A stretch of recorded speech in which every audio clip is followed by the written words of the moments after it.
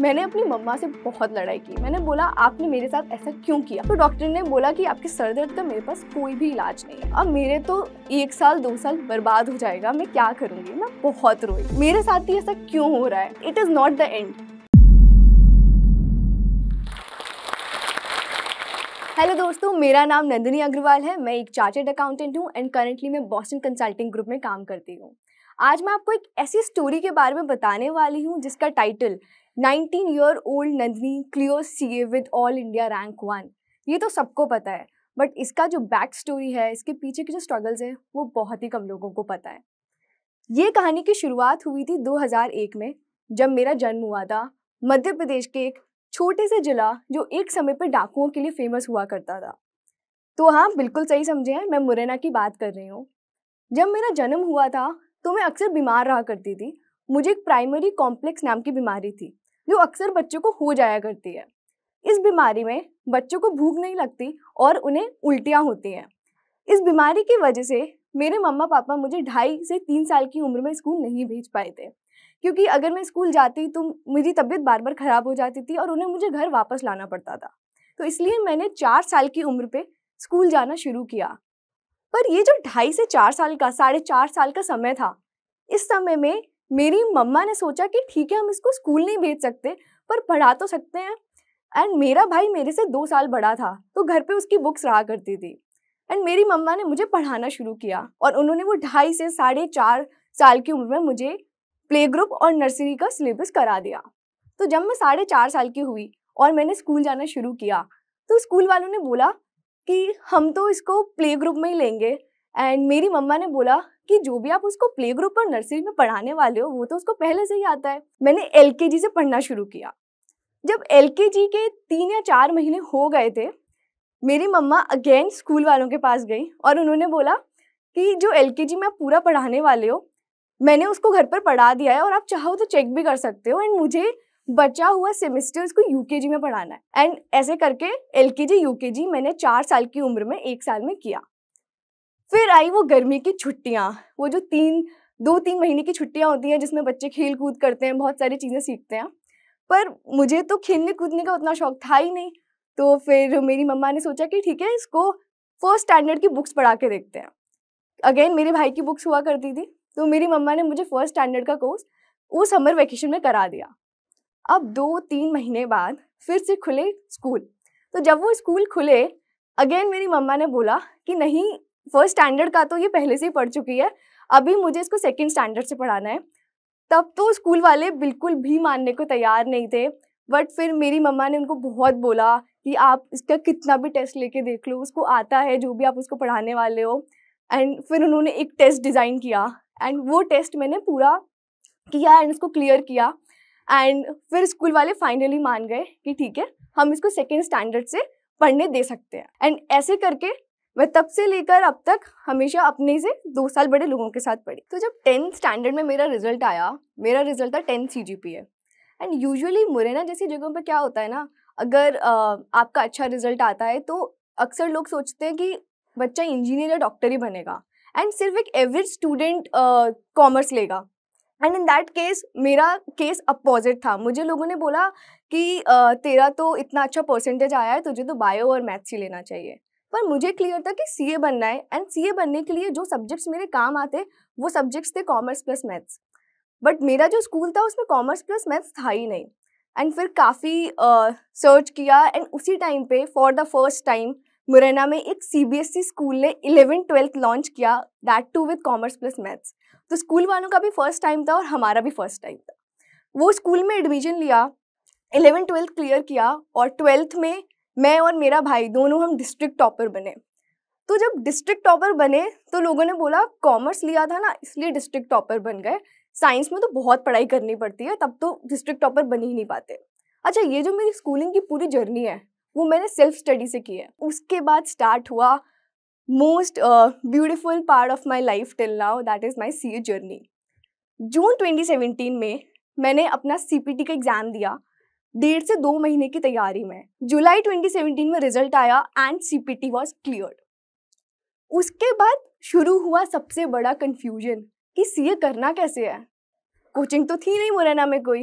एक दिन यूट्यूब पे ऐसे ही सी ए इंटर क्लासेस डाल के सर्च किया एंड एक सर का वीडियो आया।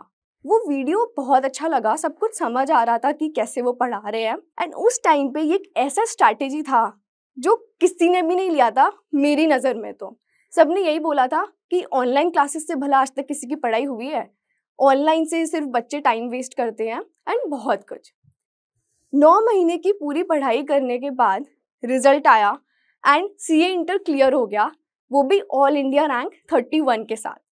फिर जो लोग बोल रहे थे कि घर बैठ के नहीं हो पाएगा और बहुत डिफ़िकल्ट है, उन्होंने बोला अच्छा हमें तो पता ही था, आपके बच्चे तो होशियार हैं, शुरू से सेल्फ स्टडी किया है।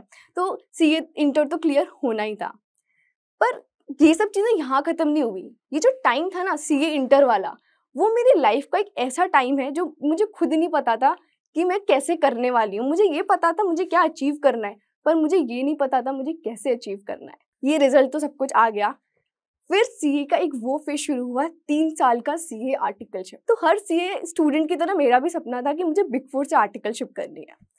मैंने अगस्त ट्वेंटी एटीन में इंटरव्यूज़ देना स्टार्ट किए। तो मैंने पहला बिग फोर में इंटरव्यू दिया। तो पहला राउंड था ग्रुप डिस्कशन वो क्लियर हो गया।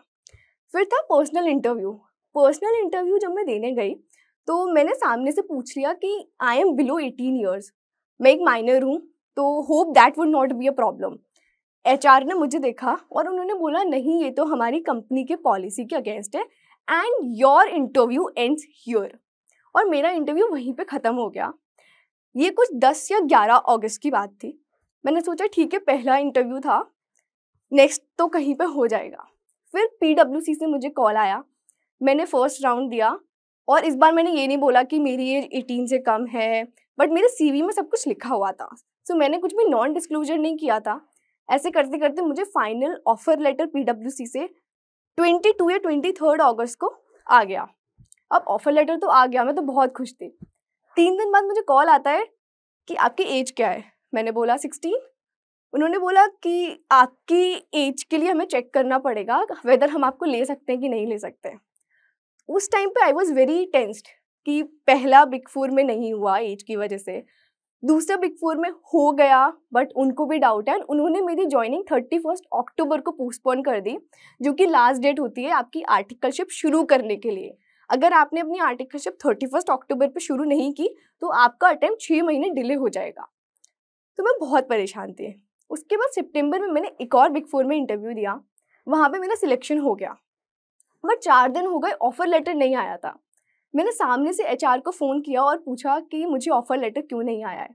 तो उन्होंने बोला कि आपकी एज काफ़ी कम है एंड कंपनी की पॉलिसीज़ के हिसाब से हम आपको नहीं ले सकते हैं।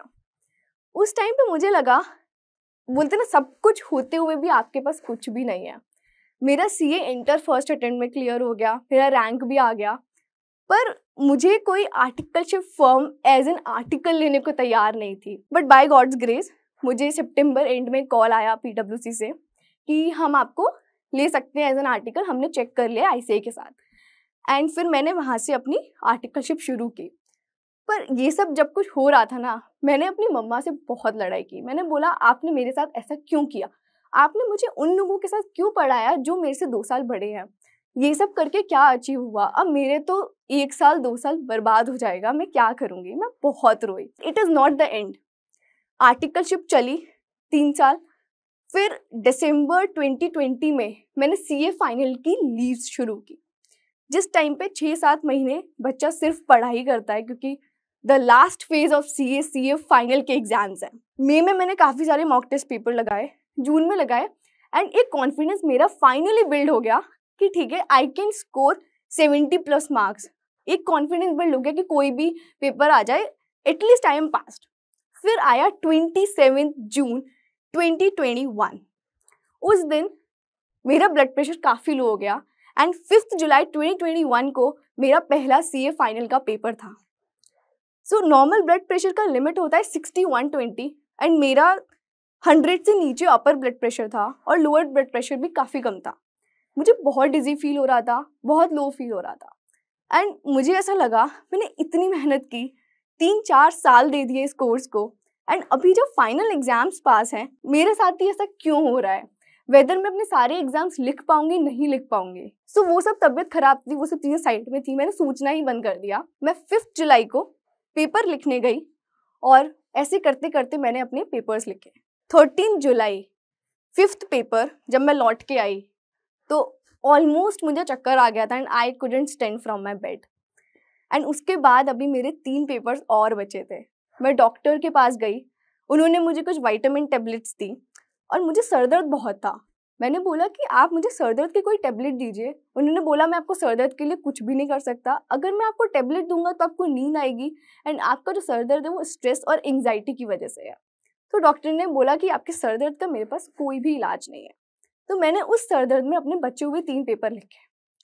वो तीन पेपर लिखे, ख़त्म हुए नाइनटीन जुलाई को मेरे सारे सीए फाइनल के पेपर्स ख़त्म हो गए थे। उसके बाद मैंने कुछ दिन तो कुछ भी नहीं सोचा कि मैंने क्या किया है।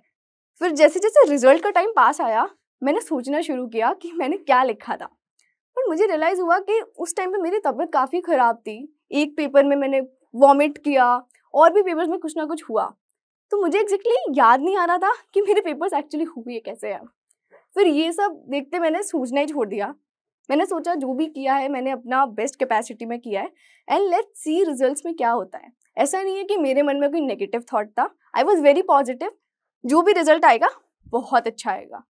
And thirteen September the result day result आया and the headline was 19 year old Nandini clear C A with all India rank one जो वो मोमेंट था ना टू टेन पी एम उस पॉइंट पे जब मैंने देखा all India rank one written on the result website मुझे विश्वास नहीं हुआ। I had tears in my eyes and सिर्फ़ मेरी आँखों में नहीं, मेरे मम्मी पापा की आँखों में इतने आँसू थे। सेलिब्रेट तो हमने पता नहीं कब बाद में किया बट उस टाइम पे जो फीलिंग्स थी हमारी दैट इज़ जस्ट अनडिस्क्राइबेबल हम इतना रोए कि फाइनली इतनी जो मेहनत की थी, वो रंग लाई। एंड उसके बाद I just scream the lot in the house and मैं पर्सनली बिलीव करती हूँ अगर लाइफ में कुछ बहुत uh, ऐसे बड़ा अचीव करना है सबके अचीवमेंट की डेफिनेशन अलग अलग होती है बट सपने देखना बहुत ज़रूरी है। मैंने भी सपना देखा था कि मुझे सी बनना है। फिर ड्यूरिंग द जर्नी मैंने ये सपना देखा मुझे बिग फोर से आर्टिकलशिप करनी है। तो आई पर्सनली बिलीव अगर ज़िंदगी को जीना है तो सपने ज़िंदा रखिए। परिस्थिति जो भी हो मन को उड़ता परिंदा रखिए। Be confident be passionate thank you क्योंकि आपने ये टॉक देखी है, इसका मतलब है कि आप अपने जीवन में सही स्किल्स के ज़रिए पैसा कमाना चाहते हैं और सक्सेसफुल बनना चाहते हैं। चाहे कंपाउंडिंग के कॉन्सेप्ट्स हो या फिर स्टॉक एनालिसिस करना, या फिर इन्वेस्टमेंट के बेसिक कॉन्सेप्ट्स को समझना, इन सब में आपकी मदद करता है जोश टॉक्स का, जोश टॉक्स इंग्लिश स्पीकिंग यहाँ पर आपको मिलती है पर्सनलाइज क्विजेज यहाँ पर आपको मिलती है ढेर सारी एक्सरसाइजेज और साथ में सबसे इंपॉर्टेंट आपको मिलती है एक ऐसी कम्युनिटी जो आपको हेल्प करेगी फाइनेंस से रिलेटेड टॉपिक्स को बड़े आसान तरीके से समझने में। तो देर किस बात की अभी डाउनलोड करिए जोश टॉक्स इंग्लिश स्पीकिंग ऐप और लीजिए अपनी फाइनेंशियल फ्रीडम की तरफ़ पहला कदम।